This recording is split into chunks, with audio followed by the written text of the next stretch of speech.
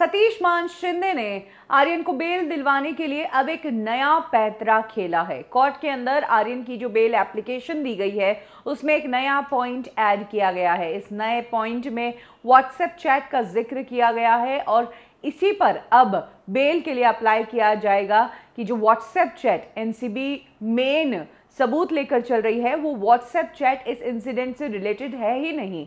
वो तो पुराना व्हाट्सएप चैट है, उससे अब एनसीबी को क्या लेना देना? ये व्हाट्सएप चैट तब की है जब मैं इंडिया में था भी नहीं, मैं यूएस में था और वहाँ पर इस तरह के ड्रग्स जो है, वो लीगल है। ऐसे में ये चैट इस क्रूज शिप वाली इन्वेस्टिगेशन का हिस्सा कैसे बन सकती है? यही बात आर्यन की इस नई बेल एप्लीकेशन में लिखी गई है। आपको बता दें कि सतीश मान शिंदे ने दो से तीन बार आर्यन के लिए बेल एप्लीकेशन फ़ाइल की है और हर बार एक नया नैरेटिव दिया है।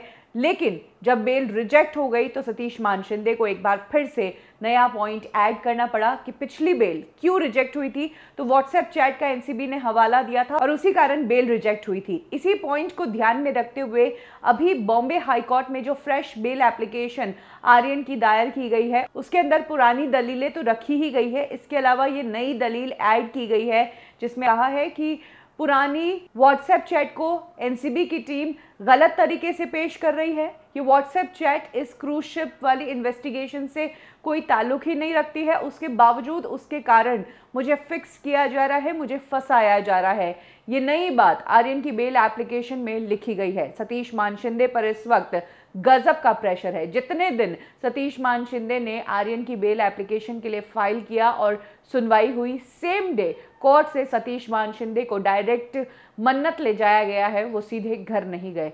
ऐसे में समझ सकते हैं कि बेल दिलवाने के लिए उनके ऊपर कितना प्रेशर है।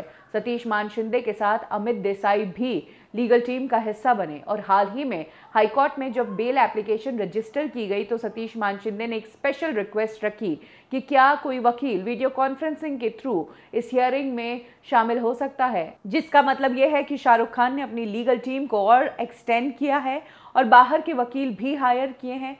शायद से दिल्ली का कोई वकील है सीनियर वकील, उसको ऐड किया गया है और उसी के लिए बॉम्बे हाईकोर्ट में ये परमिशन मांगी जा रही थी। लेकिन हाईकोर्ट ने इस परमिशन को देने से मना कर दिया है। 26 तारीख को आर्यन की बेल पर सुनवाई है। देखना यह है कि क्या ये व्हाट्सएप वाला नया एंगल जो है, आर्यन को बेल दिलवा पाता है? क्या सतीश मान शिंदे का ये पैंतरा आर्यन के फेवर में काम करेगा?